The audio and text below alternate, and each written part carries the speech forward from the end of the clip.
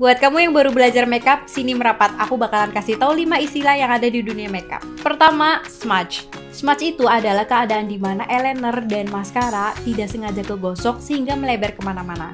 Solusinya adalah kalian mesti pilih produk dengan klaim yang smudge proof. Kedua, oksidasi. Oksidasi ini adalah terjadinya proses perubahan warna setelah beberapa menit pakai base seperti foundation dan powder.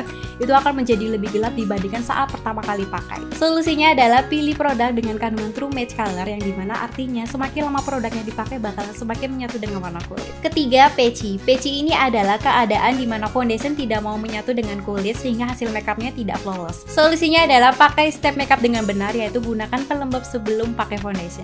Keempat, ngecrack. Ngecrack ini biasanya terjadi di area bawah mata, di smile line, dan di dahi. Karena area tersebut itu banyak lipatan, jadi ketika kita berekspresi seperti tertawa dan juga mengkerutkan dahi, sehingga riasannya jadi bergaris. Solusinya adalah gunakan produk jangan terlalu banyak di area lipatan tetapi gunakannya tipisan aja. Hal ini akan menghindari makeup jadi crack. Kelima, flawless. Flawless itu di mana keadaan makeup kalian tuh jadi halus karena produk yang kalian gunakan itu saling menyatu dengan baik.